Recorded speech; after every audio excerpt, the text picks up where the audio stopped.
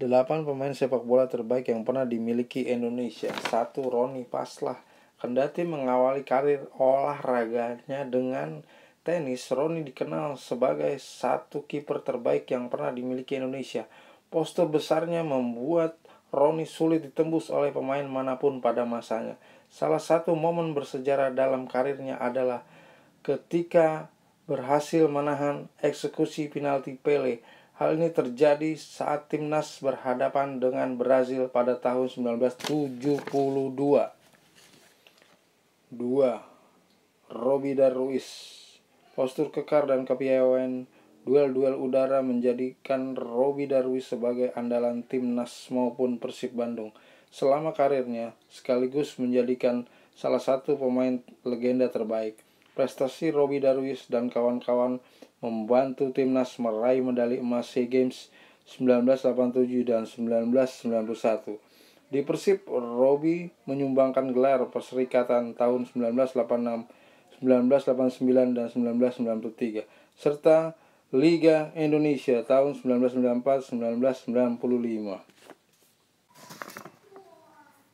3. Simpson Rumah Pasal Posisi bek kanan timnas pada masa 1970-an hingga 1980-an identik dengan Simpson rumah pasal. Kemampuannya menahan serangan-serangan menjadikan posisinya tak tergantikan di timnas. Simpson menjadi bagian dari skuad timnas dalam ajang Merdeka Games, Pra Piala Olimpiade, Kings Cup, SEA Games, dan Pra Piala Dunia. 4. Aji Santoso Rasanya belum ada pemain bek kiri yang bisa melebihi kemampuan Aji Santoso. Kemampuannya, dribblingnya, dan umpan-umpan yang akurat menjadi kelebihan Aji Santoso.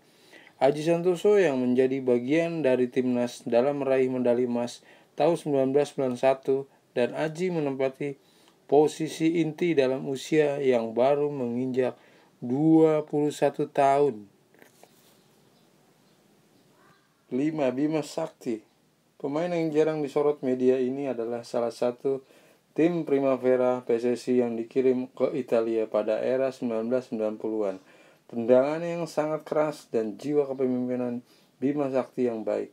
Kemampuannya membuat Bima Sakti pernah dikontrak klub Swedia Helsingborg selama satu musim. Sementara di level nasional Bima Sakti meraih gelar Liga Indonesia tahun 1999 sampai tahun 2000 bersama PSM Makassar dan menyabet pemain terbaik dan mengantongi 56 caps dan mencetak 11 gol bersama timnas. 6. Zulkarnain Lubis dijuluki sebagai Maradonanya Indonesia jelas menunjukkan kualitas yang dimiliki seorang Zulkarnain Lubis. Kemampuan menggoceknya mengumpan yang sangat baik dan umpan yang matang membuat striker-striker mana pun yang membela timnas sangat dimanjakan oleh Zulkarnain Lubis. Prestasi terbaiknya bersama timnas membawa timnas ke semifinal Asian Games di Seoul tahun 1986. Sementara di klub ia turut membawa Kramayuda tiga berlian menempati juara ketiga di Liga Champions Asia 1985-1986. 7. Iswadi Idris, salah satu pemain sayap yang pernah dimiliki Indonesia. Visi permainannya yang luas dan kecepatannya yang menjadi kelebihannya bersama Sucipto Suntoro, Jakub Siasale, dan Abdul Kadir. Iswadi dikenal sebagai kuartet tercepat di Asia dan karakternya yang kuat menjadikan ia ditunjuk sebagai kapten timnas. 8. Roni Patina Sarani sebagai playmaker terbaik Indonesia, umpan-umpannya yang akurat, tendangan jarak jauh yang keras menjadi kemampuan terbaik Roni Patina Sarani. Kemampuan Roni membuatnya meraih berbagai gelar individu. 1 All Star Asia tahun 1982. 2. Olahragawan terbaik tahun 1976 dan 1981. 3. Pemain Galatama terbaik tahun 1979 dan 1980.